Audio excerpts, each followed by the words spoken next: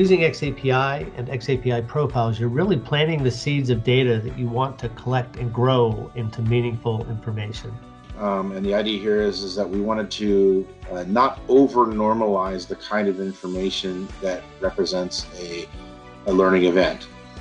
What are the discriminators between what a generic person might be able to do and a specific person can do?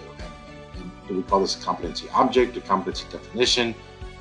Um, with the total learning architecture research, we were trying to really sort of open the aperture to our, a truly complex adaptive system of truly decentralized, decoupled systems that could come together into ad hoc creations um, and then change their form over the course of their life. And, and, more importantly, over the course of a career arc of all the members of the Department of Defense.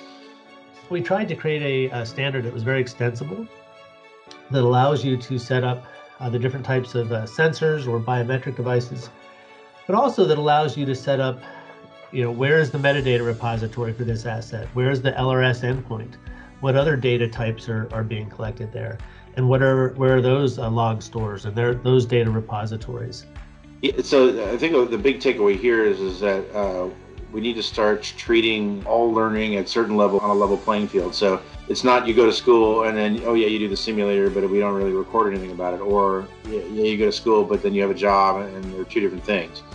Um, so what we're recognizing is that the, the wall between manpower, personnel, and training is somewhat artificial, and that we really need to think about that personnel aspects as well as the training aspects on a level playing field. And, and a lot of the research that we were doing was trying to come up with data structures that enable that. And the only way that we can really do the lifelong learning is by having that, that identity ubiquitous across your DoD career.